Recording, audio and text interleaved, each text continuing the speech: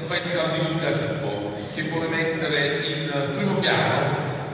l'eccellenza della nostra terra, l'eccellenza che la nostra terra ha saputo generare in tutti i settori, in quelli della musica, ma non solo, in quelli dell'arte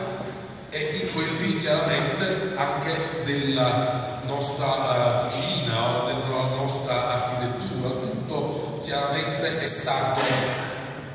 portato poi a livello nel Settecento eravamo presenti in tutte le corti europee con i nostri musicisti. Pensate che a Stoccarda c'era Iommelli, a Londra c'era Porpora, a Mosca, a Pietroburgo la musica classica l'abbiamo portata noi, cioè significa che la prima opera in lingua russa l'ha scritta un napoletano che si chiamava Francesco Araia. Francesco Araia scrive per Elisabetta Lazzarina, insieme al poeta Alexander Sumarokov, scriverà la prima opera in lingua russa e da quel momento ci sono 60 anni di storia della musica tutta napoletana perché ci andrà Cimarosa, ci andrà Paesiello, ci andrà Andreozzi, ci andrà eh, Tritto, ci andrà eh, eh, Sacchini, quindi tutti i nostri maggiori operisti praticamente faranno sì che Glinka, il primo operista vero russo originale, praticamente eh, non farà altro che imitare i nostri musicisti delle aree e invece costruire nei cori, nei grandi cori, quello che era il canto znamendi, cioè il canto ortodosso che si usava nelle chiese russe. E viene a Napoli Glinka a conoscere Bellini, Bellini è l'ultimo esponente della scuola napoletana, poi dopo c'è stata l'unità d'Italia e qui mi fermo. Mi fermo perché? Prima per presentarvi lo spettacolo di stasera che sarà spettacolare, meraviglioso, cioè chiaramente Ferdinando non solo amava e, anche nelle corti, in tutte le corti del, del, diciamo, che si sono succedute a Napoli, non è che amavano soltanto la musica colta, ma tra l'altro gli stessi musicisti colti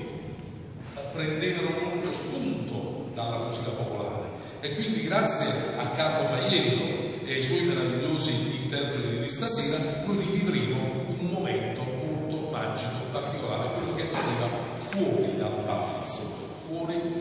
da quello che invece poteva essere un certo tipo di uh, un certo tipo di, di cultura che si svolgeva all'interno delle, delle corti, anche Ferdinando suonava uno strumento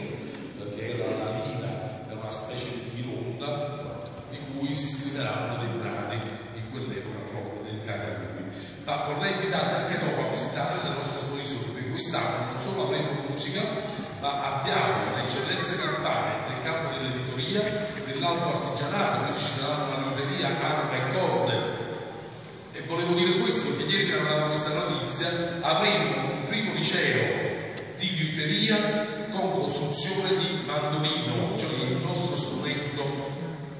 nella scuola Casanova, quindi ci sarà una curvatura all'indirizzo eh, di liuteria che sarà curata proprio dai nostri amici di Anna Questo farà un grande applauso perché è veramente meraviglioso.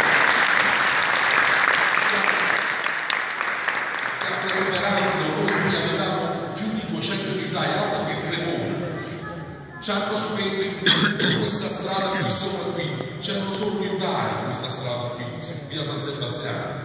L'ultimo è stato il grande Bella Rosa, oggi i violini di Bella Rosa sono costosissimi, è stato uno dei maggiori violinisti della storia. Ma ancora, eccellenze campane, nella bio, bio, agricoltura biologica abbiamo l'azienda la, Le Terre di Manù che presenta una serie di prodotti incontaminati, bellissimi della nostra terra. Quindi questo è quello che noi vogliamo, ci saranno dei percorsi guidati, vedete qui dopo magari ritirate il, il, questo libricino dove c'è anche la storia dei quattro conservatori e dentro c'è tutto il programma anche dei convegni, vi invito anche a venire ai convegni oltre che agli altri concerti che si terranno però la mattina. Quindi convegni parleremo, parleremo dei quattro conservatori, faremo dei percorsi guidati dei luoghi della musica del Settecento. Quindi praticamente dal San Carlo al Conservatorio dei Popoli di Gesù Cristo che adesso eh, potremmo ammirare la chiesa di Santa Maria della Colonna a Piazza Girolomini che è stata restaurata, quindi stiamo recuperando anche i luoghi fisici di questa città. Quindi io vi auguro un buon ascolto e speriamo di riuscire nel nostro intento quello di portare alta, l'immagine e la cultura della nostra città, del mondo, come abbiamo sempre fatto. Carlo Faiello,